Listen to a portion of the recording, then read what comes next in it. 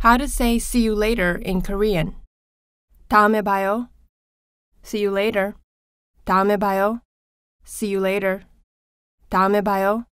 See you later. Now you try. You might also want to say something very formal. I hope I see you later. 다음에 또 뵙겠습니다. I hope I see you later. 다음에 또 뵙겠습니다. I hope I see you later. 다음에 또 뵙겠습니다. Now you try. Or you might want to tell someone to call you later. 다음에 전화해요.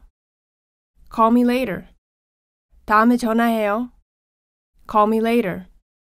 Now you try. And that's how you say see you later in Korean.